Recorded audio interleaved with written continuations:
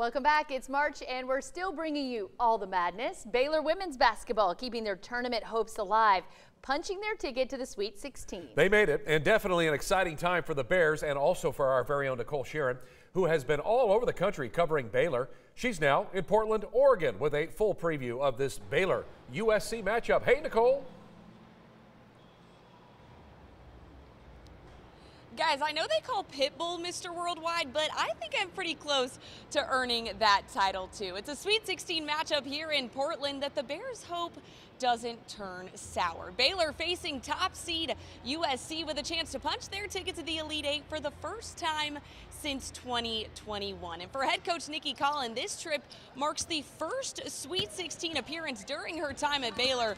But for one senior, the bright lights are nothing new. Sarah Andrews has been with this program through a big time coaching change and an entire new roster. The last time she stepped foot on this stage was back in 2021 as a freshman under head coach Kim Mulkey. And now, four years later, she's helped lead this team back to the big dance with a chance to take down one of the number one teams in the nation. The mindset is I'm not a freshman no more. You know, that was the last time I've been here. So to be here as a senior and as one of the leaders on this team is amazing, you know, to keep everybody poised. And we're meant for this moment. Um, we've grown a lot. I think I see that team that started out 13 and 0. Um, you see the fire in our eyes. So I'm just excited to be in a moment with this team.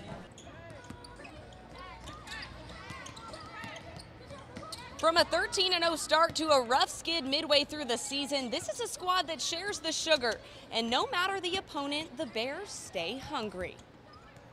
I mean, as you see, everybody eats, and, and, that's the main thing. That's I think that's what's unique about our team. Everybody gets to eat on any given night. You don't know who's going to go off, and I think that's that's what makes us special.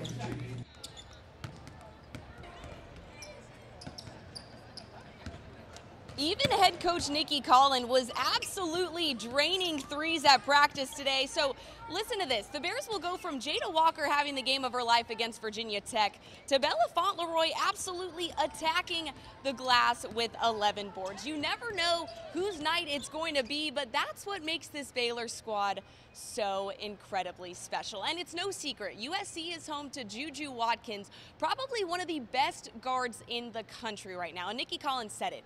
She scored 50 points, and the reality is she's going to score again on Saturday. But the key here is stopping all the other shooters on their roster. So the energy was high today. The swag definitely made its way to Portland. And Dre Edwards said it. She looked at me and said, Nicole, we're ready to play this game. So they're ready to go. The Sweet 16 is waiting. It's Baylor USC right here on Saturday with that tip at 4:30 Central Time. And hey, lucky me, I get a front row seat to all of the action. But for now, live in Portland, I'm Nicole Sheeran, and guys, I'll send it back to you. Yeah, hopefully she'll bring the Bears some luck. And too bad Nicki yeah. Collen doesn't have any eligibility left. She was knocking down I know, those threes. right? Good form.